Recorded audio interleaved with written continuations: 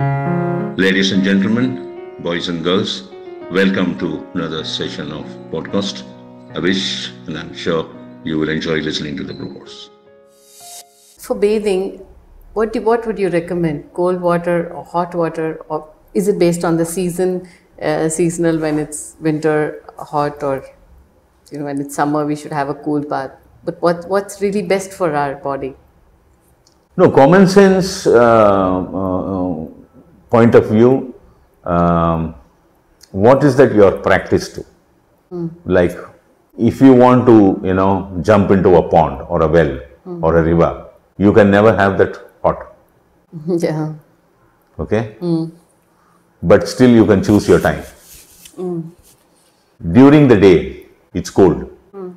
During the night, it's warm. It's warm. Have you experienced that? Yeah. During the night, after 8 o'clock, if you go, the water is warm mm. In natural uh, environment. Right. If you go to a big pond hmm. and have a bath in the night, it will be warm. Hmm. During the day, it will be cold. Hmm. Okay. What is that you are practiced to from the younger days? You stick to that. Okay. But one thing which I can tell you with a common sense, it always better to have a bath with a, a warm water, not hot water. Hmm. Warm water, Warm water. lukewarm water. Hmm.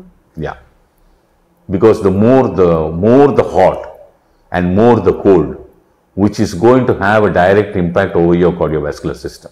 Hmm. Yeah.